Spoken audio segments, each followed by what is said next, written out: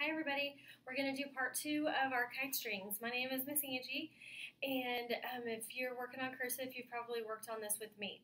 So part two of the kite strings is letter J, letter P, letter R, letter S, and O.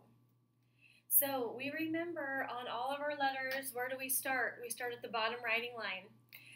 For J, you're going to start at the bottom writing line you're going to kite string up to the middle divider, pull straight down, go below the line, loop, release, lift, and dot. There's our J. Lowercase p, these are all lowercase letters that we're starting. Where do we start? The bottom writing line. Kite string up to the middle divider.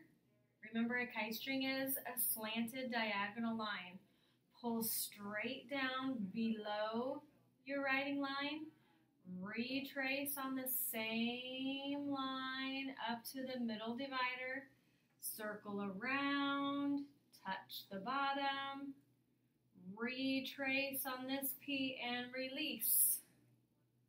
There's our lowercase p. Our next letter we're going to start with is lowercase r. Kite string letters start at your bottom writing line. All of our lowercase letters start at our bottom writing line. Kite string up to the middle divider. We're going to slant down, pull down to the bottom writing line, and release. It's the easiest way to do the R. Our next kite string letter is lowercase s. You're going to start at your bottom writing line kite string up to the middle divider. You're going to do a fat belly, touch the line you started on, retrace slightly, and release. All of our letters have an intro stroke that we start at and a release. Okay, the last letter in our kite string group is the letter O. Start at your bottom writing line, kite string up to the middle divider, retrace down a little, make an egg, touch at the top, and release at the middle divider.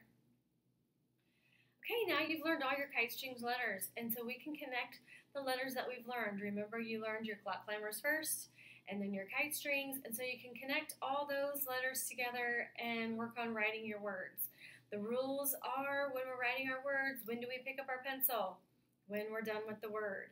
So if in our kite string group, the word it, I, T. I'm going to finish it, then lift, dot, and cross. Practice your words. Practice your letters, your connections, and where they go on the line.